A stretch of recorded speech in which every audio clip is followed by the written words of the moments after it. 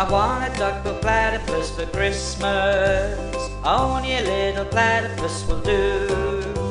I don't want an emu or a jumpy kangaroo.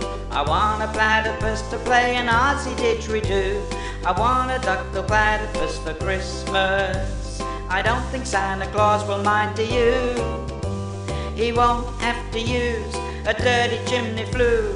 Just bring him through the front door, that's the easy thing to do. I can see me now on Christmas morning creeping down the stairs.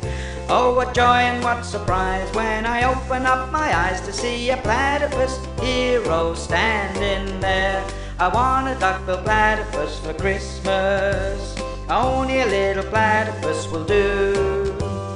No crocodiles, no crested cockatooses. I only like platypuses and platypuses. They like me too.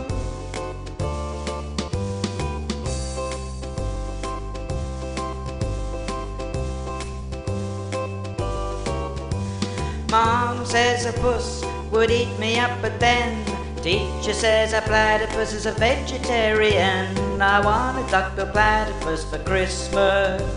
Only a little platypus will do. There's lots of room for him in our two-car garage. I'd feed him there and wash him there and give him his massage. I can see me now on Christmas morning creeping down the stairs. Oh, what joy and what surprise when I open up my eyes to see a platypus hero standing there.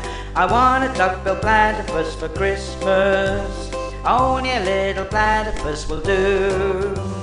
No crocodiles, no crested cockatooses. I only like platypuses and platypuses. They like me too.